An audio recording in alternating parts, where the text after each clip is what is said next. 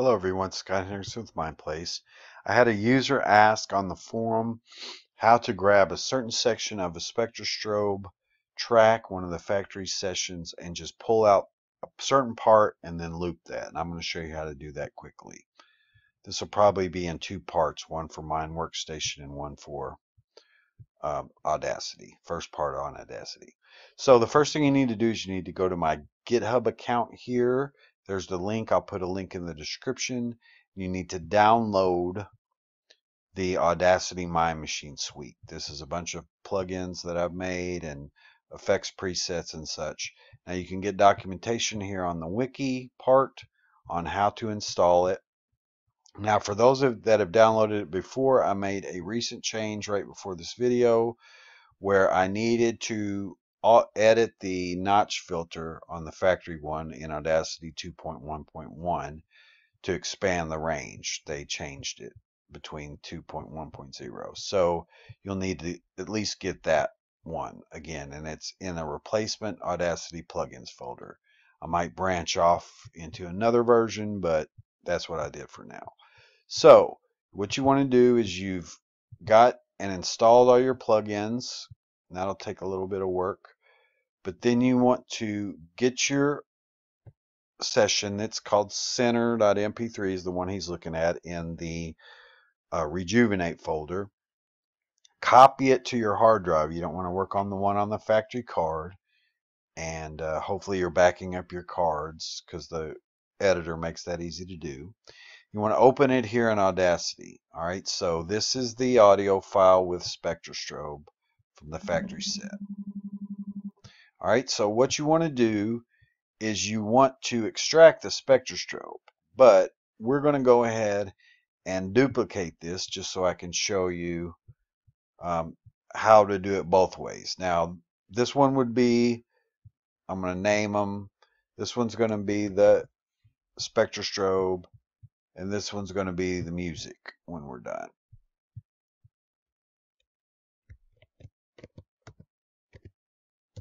Okay, so now what we need to do is go through and apply a chain that's included in that download.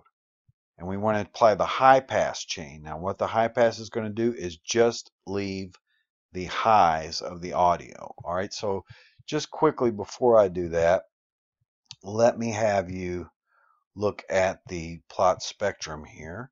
You can see there's the music there's the SpectraStrobe. So this is the reference, this is the red, this is the green, this is the blue. And we want to remove the music, and that's what this filter will do. So apply chain, AVS high pass, which will leave only the highs, which is the SpectraStrobe. Works on AudioStrobe too, by the way. Okay, so that's done. Now we can look at our spectrum again. And see that music's gone. So we're going to do the opposite now on the music track itself. We're going to eliminate the SpectraStrobe but keep the music. And you do that with the other one, the high pass or the AVS low pass in that case. So you apply that one.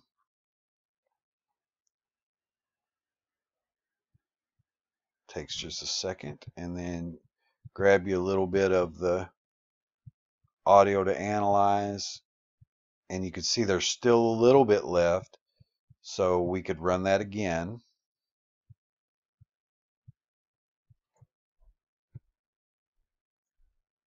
And just run it as many times as you need to eliminate it all.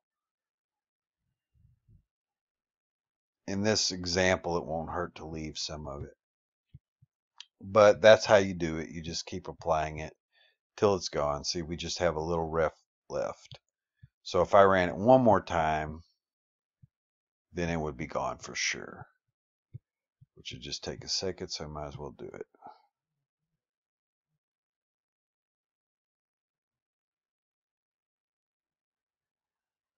That way the signals won't collide with each other. All right. So if you have too much selected, it warns you you have to select the beginning, just a 274 seconds audio or something like that. Okay, so there it is. That's the SpectraStrobe. That's the music. So if you played this whole session together, then you're basically reproducing the factory set, except you have control now. So what we want to do from here is we want to extract the reference signal. So we want to, and we do that because it, we don't want them to collide, right? So you want to do the SS ref notch mm. remove. You want to apply that. Now you're going to have to do this one a number of times to completely get rid of that ref. So just do it a couple more times. It's the one at the bottom, FS res, SS ref notch. A notch filter is a filter that removes certain frequencies within the bands that you set. And these chains make the settings for you. So let's look at our spectrum now after two iterations. And we see that, see there's still a ref signal left, but it's kind of much lower in the mix. But let's do that. I probably, if I really wanted to eliminate it, I'd probably have to do it two or three more times. but I don't think I will that much in this video. At least not while you're watching. Alright. Let's do at least one more. Oops.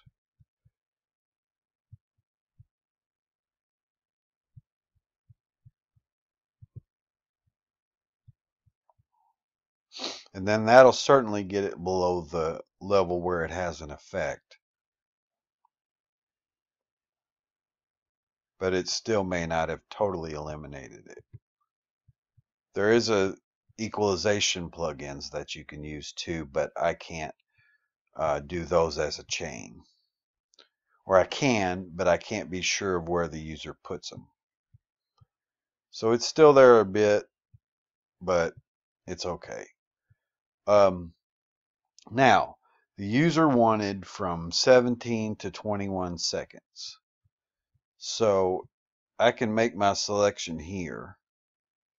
Uh, 17 seconds.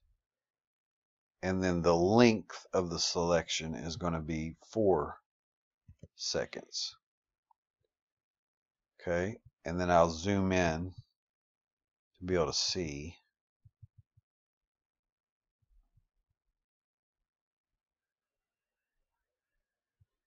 Uh, it's at minutes, four minutes. I don't want that. Let me back up now.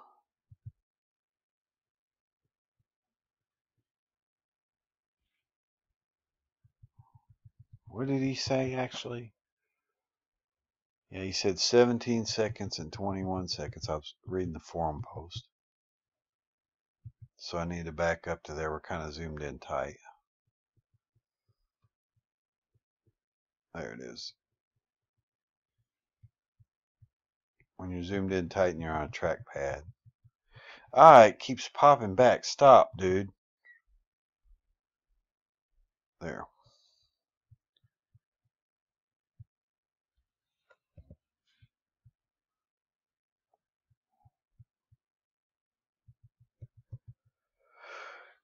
All right. Now, from what I'm seeing, that's either a really low volume section or a blank. So if we were to expand that, when he's saying it's from 17 to 21, you could see in the audio that that's not correct. Now, of course, I know he's just making a guess. But I would say it would be more so 20 and then you want to find out where that wave ends. Let's zoom out just a little bit more. Kind of crazy right now.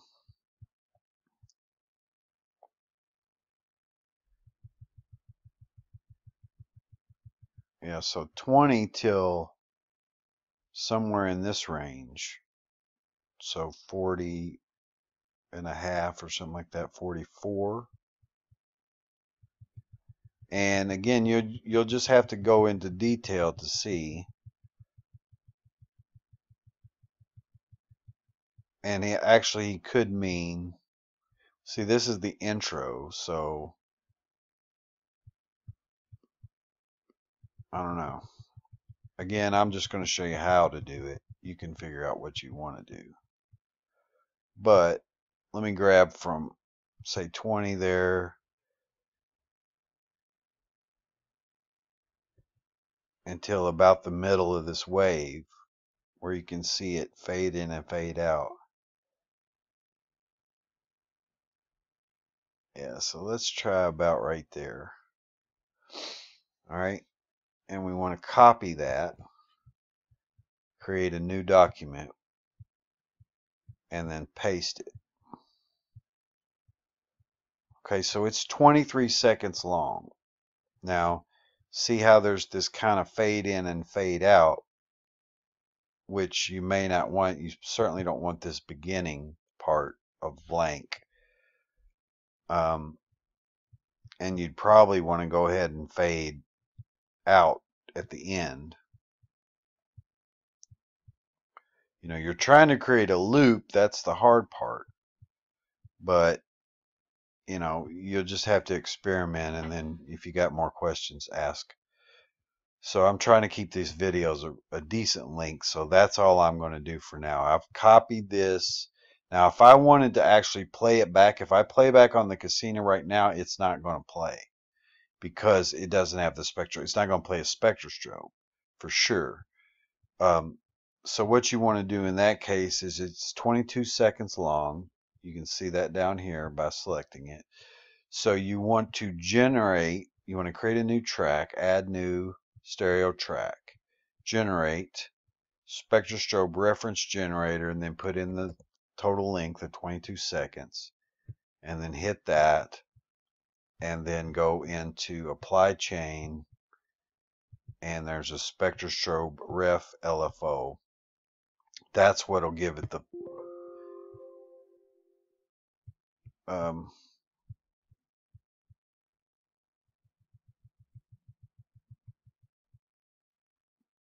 well, I mean, there it is.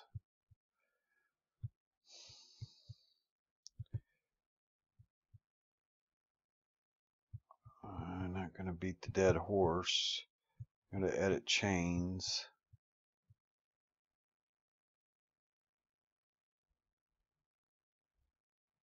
Ref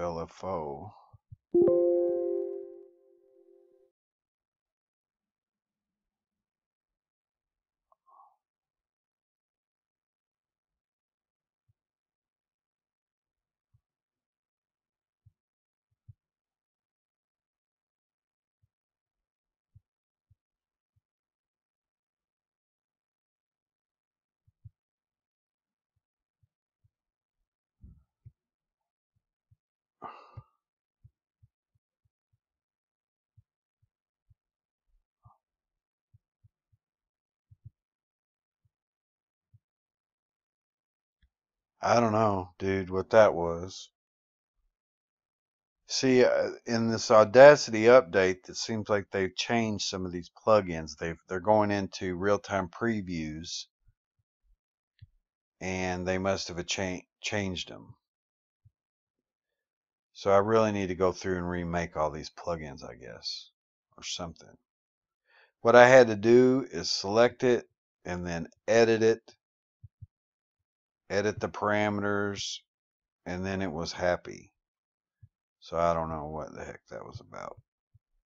But anyway, now it's we'll play a SpectraStrobe and you can play it in a loop loop play with shift space and see if that's what you want.